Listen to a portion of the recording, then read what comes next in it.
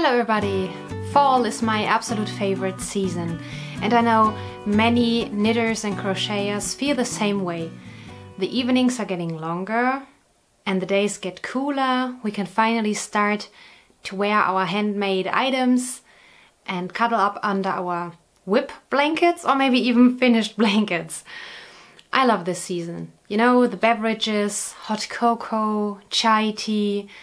I love it. So, and in this video, I want to tell you what fall knitting means to me, what I do differently, and share some patterns and ideas with you how to improve your cozy fall days.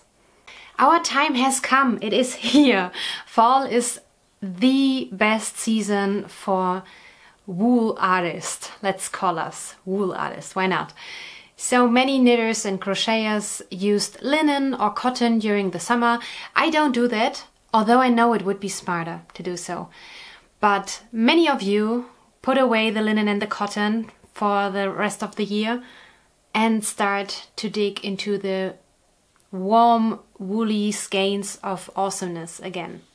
I actually use different colors now. So for example, um, oranges, browns, yellows, more earthy tones, inspired by the nature that changes into these pretty colors and also inspired by the hot beverages I like during fall. Since I started my podcast in 2016, I think I hosted a fall along every year. So I always um, invited everyone to, to participate in this fall along to knit or crochet or whatever you like to do in fall typical colors or sometimes I also counted fall items like cowls and hats and so on. But the colors are the most precious to me. Uh, for example, also the Halloween colors. They are so crazy. I would never wear this kind of color combo during another time in the year only for the pre-halloween season. I don't know. It's about these it's it's about the feeling and what the colors represent in my opinion more than what suits my skin tone or so i dyed up a new colorway the colorway of the month september and it is called autumnal days formerly known as autumnal vibes but now it's called autumnal days.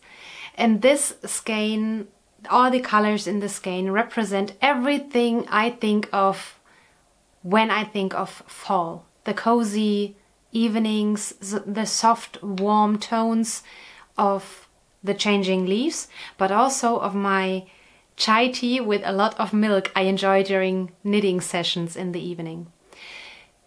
There are some skeins ready to ship, but the idea of the colorway of the month is that you uh, decide which base you would like to have. There is sock merino, merino, sport sock and sport sock sparkle available in my shop. And you tell me which base you want to have, how many skeins you want to have, and I dye it up for you.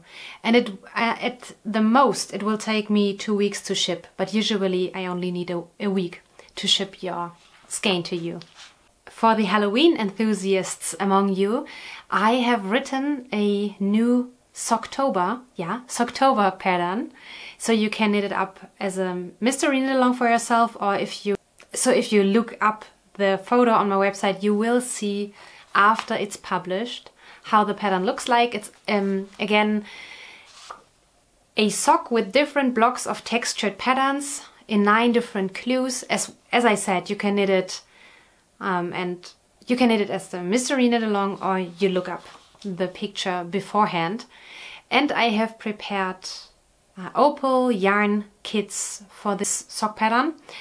Um, these traditional Halloween colors are so much fun and I think they go so well together and you will have enough left over to knit, for example, a cowl, a long, long cowl in these colors for Halloween if you want to wear it during trick-or-treating, for example. Since we usually knit to keep us warm, we could knit everything during fall. Everything made from wool keeps us warm. But here are some patterns I would recommend to knit if you if you like. I like to knit them. Um, because they are perfect for fall. The not not yet very cold season, but already cooler season, so to say. so for uh, the first pattern I want to show you is my free pattern, the hot water bottle cozy. So I wrote this pattern um, for a normal hot water bottle, the ones you get on Amazon. So it suits, I think, pretty much every size, the typical sizes. and I designed it for sport weight yarns, so it's a quicker knit. And you can get sport weight opal yarn very soon again in my shop on my website, or you order, for example, autumnal days on my sport weight base or even sport weight base with sparkle to add a little bit shiny goodness to your everyday life. so the hot water bottle cozy is very very easy. It's a because of the yarn quick knit and it's so much more fun to use your hot water bottle during the colder evenings um, in fall and winter if you have a woolly pretty color around it. I enjoy it very much and I use it during fall and winter pretty much every day. My cozy socks are a free pattern as well and as well it's written for sport weight yarn. I mean you can knit it with fingering weight yarn or even DK weight yarn if you like but I designed it for sport weight yarn and it looks like so these ruffles on the leg remind me a lot um, of leg warmers ballerinas used to wear. It's such a cozy look in my opinion and it is very cozy. And again a quick knit because of sport weight yarn.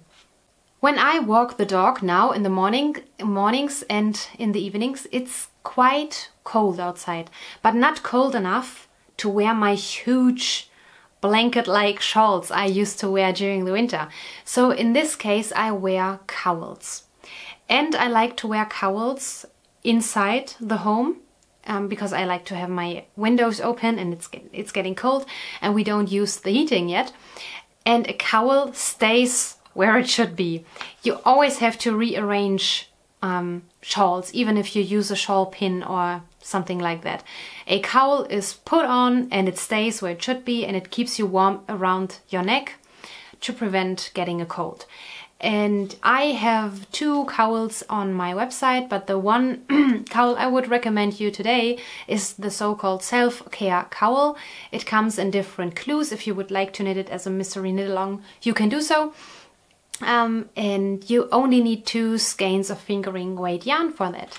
My scrappy pillow is my most favorite finished object of all I think because I love the fun sock yarns. The process was so enjoyable, but it is so cozy. It is my most favorite pillowcase because it's not it's not like the typical polyester or cotton pillowcases we usually have on our sofas. It's the soft opal yarn I used and it's so warm and it's so snuggly. I use it every day. It's every day on my couch and I only swap it out to wash it and then put it back on again immediately. And this is a, this is such a fun pattern and I designed it because I was knitting it as a blanket. And then I realized, wouldn't it be nice to have a pattern that gives you the fun of the mitered squares, but doesn't challenge you so much for such a long time to finish a blanket. You know, it can get frustrating if we work on our scrappy blankets all the time and never finish one. So why don't you make a pillowcase? And maybe it's motivating you so much that you make different pillowcases instead, so several ones, instead of one big blanket that might never get finished. And here again the reminder for my Socktober pattern. I will publish it on October 1st. Stay tuned for that. Maybe you want to subscribe to my email newsletter so you don't um, miss the uploading day.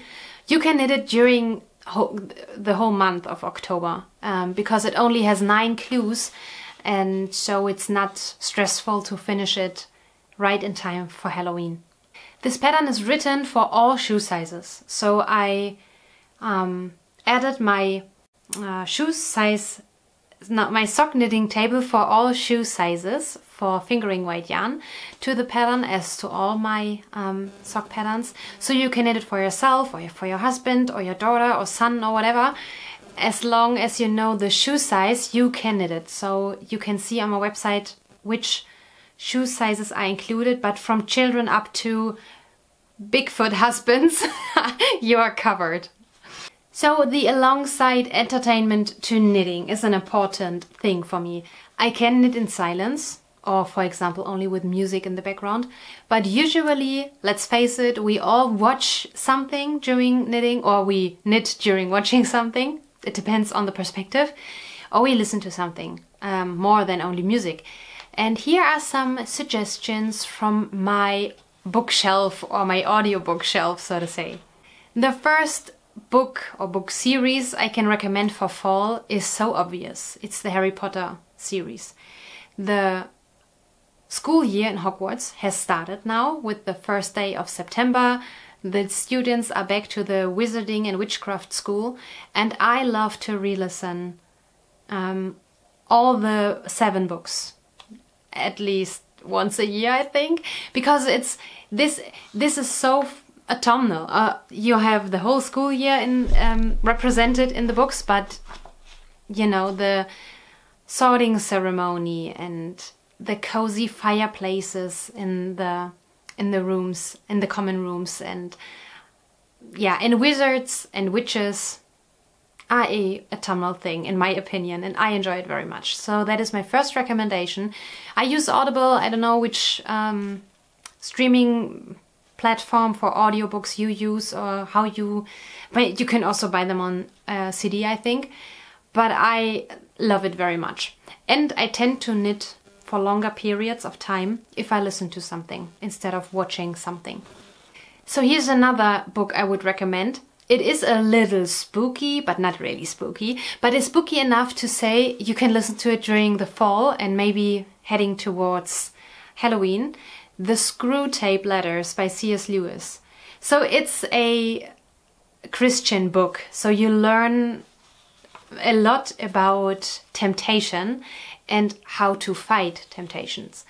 But the Screwtape Letters are what it says in the title letters by a chief demon to his minion demon. I don't know how to else how else to say that. In this humorous and perceptive exchange between two devils, C.S. Lewis delves into moral questions about good versus evil, temptation, repentance, and grace. Through this wonderful tale, the reader emerges with a better understanding of what it means to live a faithful life. So it's the perfect mix of spooky without being horrifying and uplifting and you learn something and it's a classic I would say. And there's a show I would like to recommend. It um, comes out once a week and it takes about 30 minutes and you can watch it in the PragerU app which is free for everyone so you have you, you won't be charged anything. It's the Fireside Chat with Dennis Prager. You don't like to watch the news because you get upset, angry, and maybe anxious. So I would recommend listening, watching Dennis Prager because he has you covered with all the news, what happened in the US and worldwide, but he focuses on the US. And he leaves you with the information you need, but also always with a smile. He is such a wise lovely, uplifting person. He is a Jew and so he quotes the Bible very often and although he speaks on the ground of American politics or from the ground of um, American politics, he always insists that everything he says is um, interesting and helpful for everyone around the world. And I'm here in Germany and I learn so much every week, and it and I always have a good time watching Dennis Prager because I don't get upset, and he's funny. so I recommend the Fireside Chat with Dennis Prager. And the last thing on my list are audio plays.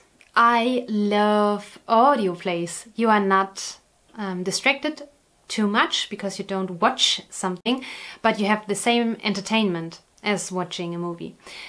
I love the audio plays around the stories by Arthur Conan Doyle, Sir Arthur Conan Doyle, Sherlock Holmes. So I'm sure there are many great English uh, versions, audio play versions of these stories. I listen to the German ones, but I'm sure you will find a lot. And I'm I'm pretty sure you find a lot for free, for example, on Spotify. I listen to them on Spotify and on Audible. It's it has something. The misty city of London and the chiming of the Big Ben and then Watson and Sherlock sitting at the breakfast table and making plans how to catch the criminals. This is so autumnal. I I re-listen to them over and over and over again every year. For a good knitting session, we need nice yarns, patterns and alongside entertainment. We do all have this now covered beverages. You know? That is that is a must have for a knitting session in my opinion. So I'm a coffee drinker. So my first hot beverage in the morning is coffee and I definitely drink coffee, but maybe decaf in the afternoon. But during the day and in the evening, I love all kinds of teas. But here are my favorites. I'm originally from northern Germany. So I love East Frisian black tea with a little bit of milk. Mmm, so good. And I love spicy teas like um, spicy chai. And again, with milk, it's mmm, so good. Sometimes I drink a hot cocoa, but it's very rare. But then I really love it. And rooibos teas. So you see more on the sweet side. I'm more on the sweet side. These are my favorite beverages for fall. I hope you enjoyed this video and that I was able to inspire you and to hype you up for the autumnal season, the knitters and crocheters season, the best one of all. And I'm looking forward to read from you in the comments what are your things you enjoy during fall for your knitting or crocheting sessions. I'm very curious and we will see each other in I think about two weeks for my next podcast episode. Bye bye!